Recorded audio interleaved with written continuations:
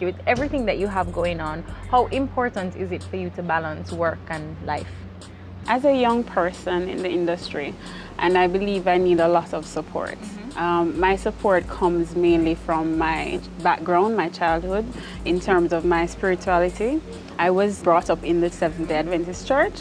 I'm not a practicing one right now. You weren't raised in Kingston? No, I was not. I'm from, actually from Montego Bay. Oh, really? a lot of people think I was yeah, raised in Kingston. Especially with all the jobs that you've had yeah, here. And that's what is so amazing to me. But in terms of balance, I have my friends, my family, my personal life. Um, most of the times, I, I, really show everything on social media. I don't mind. Right. my life is an open book.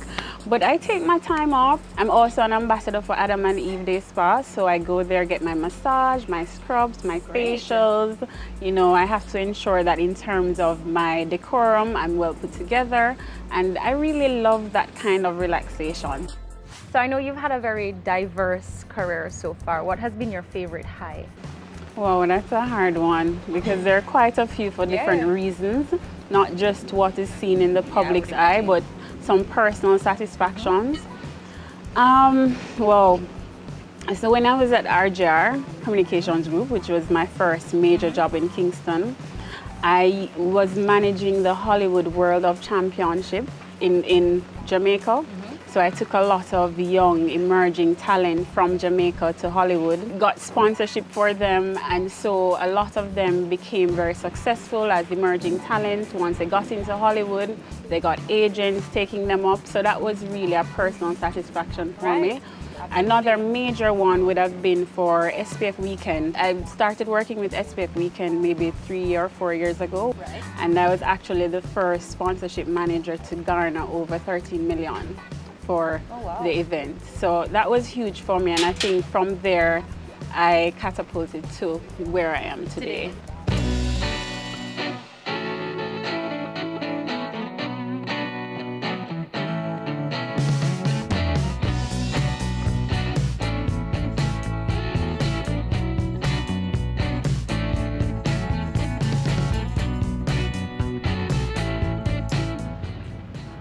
You say would be your advice to young entrepreneurs who want to start out, even in this industry, media and PR?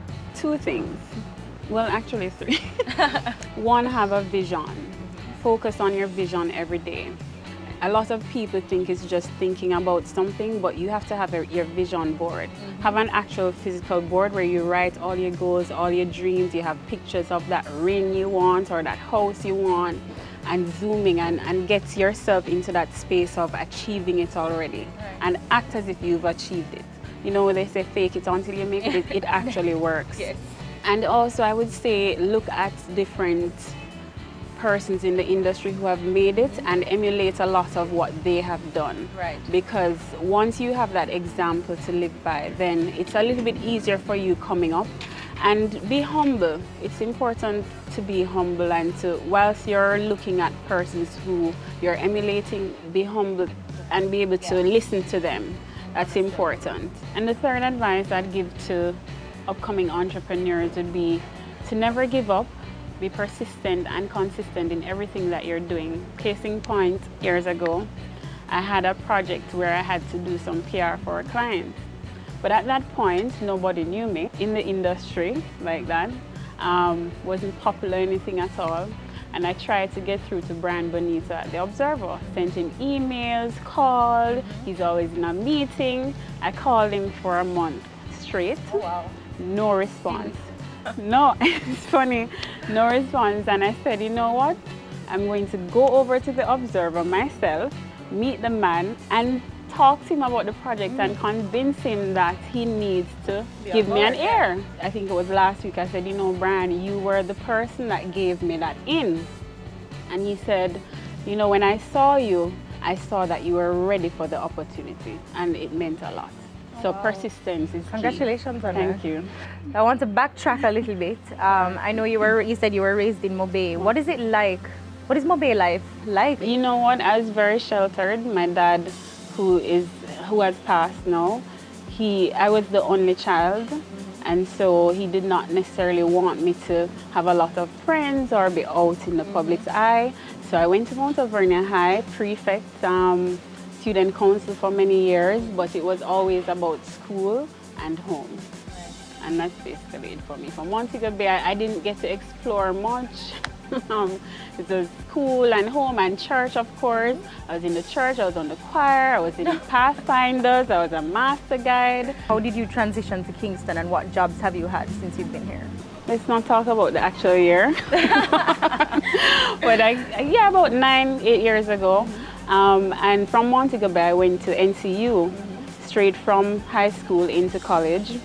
And I got married, had a child. To be honest with you, the marriage wasn't working out. And I, I, I envisioned leaving, but there had to be something I was going to. And one day I picked up the Sunday Gleaner and a lot of people don't believe this is how it happened because it seems as if I had a friend somewhere, but nothing like that. No kind of networking there. No, I saw an ad in the paper for RJR for marketing, and I applied, and I was called in for an interview, and I got the job. Came and to Kingston, and that's the, the beginning the of the history. journey, yes, as to where I am today.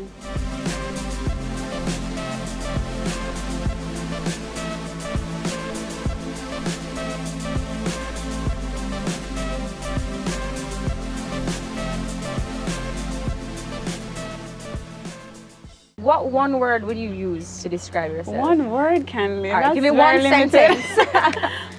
I would say I'm extremely goal-oriented, ambitious, aggressive and persistent and I must wow. get what I want. A friend of mine said that I'm the only person he knows who feels as if they're entitled. You know, like when you go to a parking lot and you want, you need to park in the VIP even though you don't have a sticker. No, I believe you. I need to be there. So that, that would be me. I'm very caring, very passionate, very friendly. I, I think I'd have to agree with that even in my the short, short space of time that I've known you even when I met you initially, I didn't see you as, as being this aggressive. Not, I mean, in business, of course. Yes. And it's, it's interesting. It's been very interesting. Are there any future plans that you have for yourself? What's next? Because you've accomplished so much already. Well, it's funny you say that, and I don't feel that way. I have these um, different times when I lock away because I don't feel I've achieved enough. Oh wow! But no, it's it's very it's it's very revealing and sometimes very humbling because no matter what you do in life and how much you think you've achieved, there has to be that place of getting back down right. where you can regroup and achieve more because people who are comfortable don't achieve anything. You have to be unsettled, you have to be uncomfortable right. in your space right. to achieve more. I'm looking at starting my own company, having a team, teaching people what I know and building a proper legacy for my child and the kids to come. but it has been such a great journey. Um, where I am today, a lot has to do with people I've known. For example, Novia. A lot of people look at her, Novia McDonald Whyte, as sometimes hard to talk to or not approachable. But I was having a conversation with her on Saturday and she was saying to me, Cortia, you do everything from your heart. But it's true, that's really who I am. Everything that I do is from here.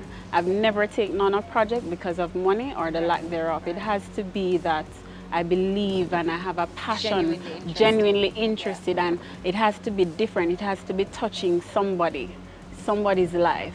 And that's how I, that's what I use as a guiding principle for what I do. Cortia, thank you so much for sharing from us your, well, one of your many chill spots for today, but I'm really excited about shopping. Me too. So let's go.